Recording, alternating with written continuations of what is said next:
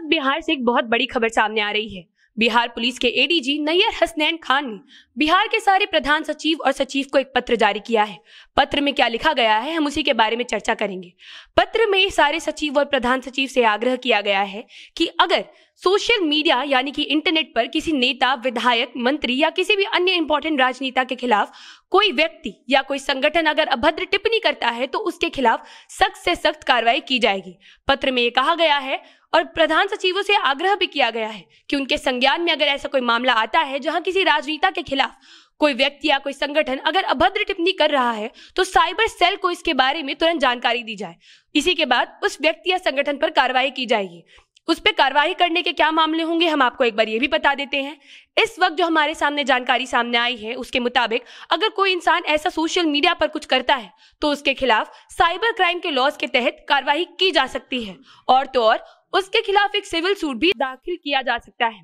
अब देखिए इस चीज़ को सोचने वाले बहुत से पहलू है। पहली चीज़ तो ये कि एक तरीके से शायद ये सही भी है, क्योंकि बीते कुछ दिनों से साइबर क्राइम में बहुत ज़्यादा बढ़त आई है। आम लोगों के से हटकर सेलिब्रिटीज के, इनफैक्ट नेताओं के भी अकाउंट्स को हैक किया जा रहा है। अभी कुछ ही दिनों पहले बिहार के कुछ नेताओं के सोशल मीडिया अकाउंट्स हैक कर लिए गए थे, और उनके अकाउंट्स के ज़रिए अभद्र चीज़ें सोशल मीडिया पर शेयर की जा रही थी। तो ऐसे में पुलिस का इन सारी चीज़ों पर नज़र रखना ठीक भी है। लेकिन इसका एक और पहलू ये है कि ये कौन तय करेगा कि क्या अभद्र टिप्पणी है और क्या एक इंसान बस अपने मन की बात कह रहा है?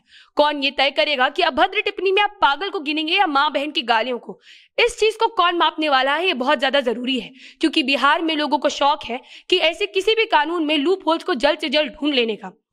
तो ऐसे में एक बहुत बड़ा चिंता का विषय यह है कि कहीं ऐसा ना हो कि ऐसा कोई नियम लागू होने के बाद सारे के सारे राजनीतिक दल यहाँ इस चीज़ को एक दूसरे के खिलाफ इस्तेमाल करना शुरू कर दे। क्योंकि यहाँ हमारे नेताओं को एक खास आदत है, एक दूसरे के ऊपर निजी बयानबाजी करने का। ग्राउंड लेवल पे तो हम उन चीज़ों को रोक नहीं पाते हैं, लेकिन अब हम सोशल मीडिया पर उन चीज़ों को रोकने की तरफ़ एक कदम तो बढ़ा रहे हैं। लेकिन कहीं ऐसा ना हो जाए कि इस चीज़ को लोग अपने निजी स्वार्थ के लिए इस्तेमाल करने लगे। और तो और नेता लूप होल्स ढूंढ ढूंढ कर एक दूसरे की टांग इस चीज़ में खींचने लगे। क्या ये भी मुमकिन है कि इस नए नियम से फ्रीडम ऑफ़ स्पीच पे भी कोई फ़र्क पड़ेगा? क्या ऐसा हो हो जाएगा कि कोई इंसान आराम से सोशल मीडिया पर अपने विचार भी व्यक्त नहीं कर पाएगा?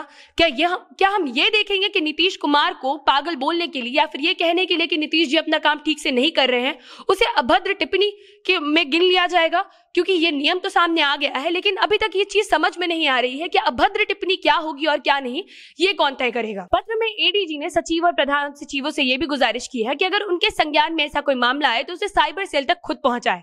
अब देखना यह है कि इस नए नियम से सोशल मीडिया में क्या हम कोई नया पैटर्न देखेंगे और क्या सोशल मीडिया पर नेता एक दूसरे के लिए नर्म होते हुए नज़र आएँगे या नहीं।